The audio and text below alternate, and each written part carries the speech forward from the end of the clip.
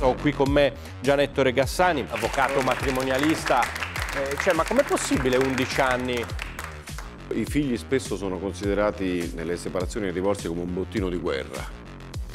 Vengono strumentalizzati e spesso la giustizia arriva tardi o non arriva proprio. È vero che in questi giorni i telefoni dei matrimonialisti sono molto molto accesi. Ecco, che cosa, che cosa chiedono di più le persone che chiamano?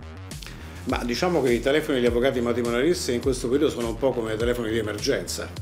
Mm. Scottano.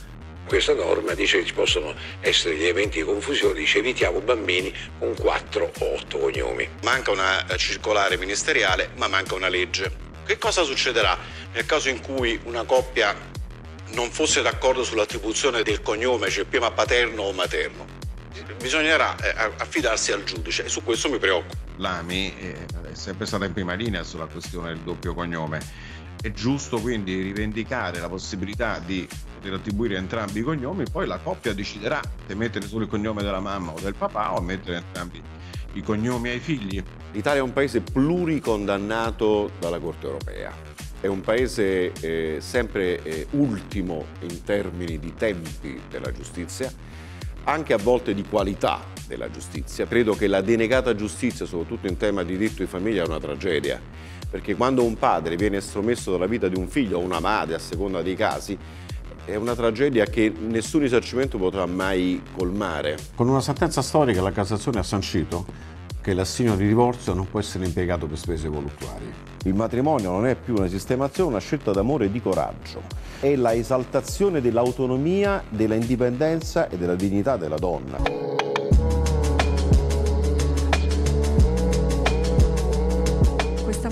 Scritto un romanzo, la cui storia è molto eh, significativa, commovente, densa e ricca di emozioni, ambientata nell'Ucraina dopo, la, dopo il disastro di Chernobyl. Ho descritto fedelmente quel territorio, l'internat, gli orfanotrofi e devo dire che la comunità ucraina è stata molto contenta a Bologna è venuta a salutarmi e ha riconosciuto nella descrizione del territorio delle tragedie di Chernobyl quello che ho scritto nel romanzo. L'Ucraina, una terra che lei conosce molto bene a livello professionale proprio perché si è occupato di adozioni internazionali. Sì, ma questo è un libro che non parla soltanto di bambini o di adozioni, parla soprattutto di adulti, parla di, delle fragilità di noi adulti, incapacità molte volte di interagire con i ragazzi. L'ultimo abbraccio è un romanzo che racconta tu dici 70 anni di solitudine, di dolori, di amore e di speranze.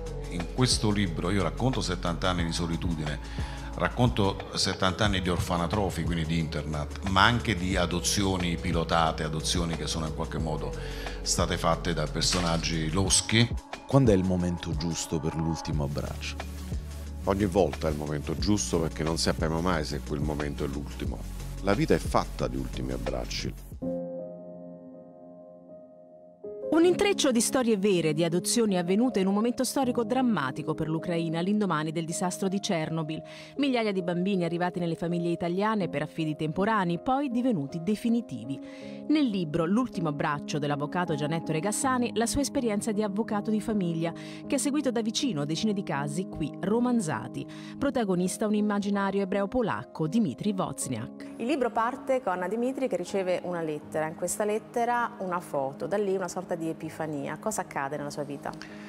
Ma eh, Dimitri era scampato ai campi di concentramento nel 40, eh, perde i genitori, entra in un orfanatrofio e poi in quell'orfanatrofio, dopo tanti anni, si metterà a cura di cinque bambini senza speranze e li accompagnerà alla rinascita, alla via d'uscita.